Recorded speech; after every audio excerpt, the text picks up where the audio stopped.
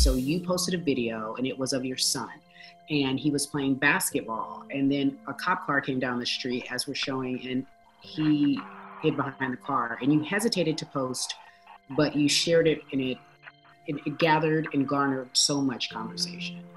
It resonated with a lot of people. Um, it, was, it was just uh, an outpouring of just positive feedback, so much love and support. And I'm just happy that it was able to bring so many people together. And honestly, a lot of people were struggling with some of the the things uh, that I was, you know. You tell me the message you would like for people to take away uh, after seeing this video or viewing this video.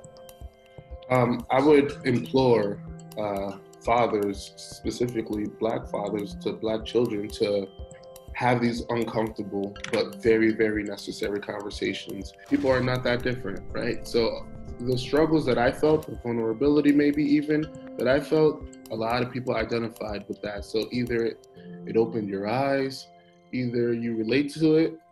Ultimately, you know, um, nobody wants to see their loved one unsafe or afraid, you know. So I think that resonated with a lot of people you and your son are heroes. I appreciate the way you're trying to raise your son and how you're protecting your family.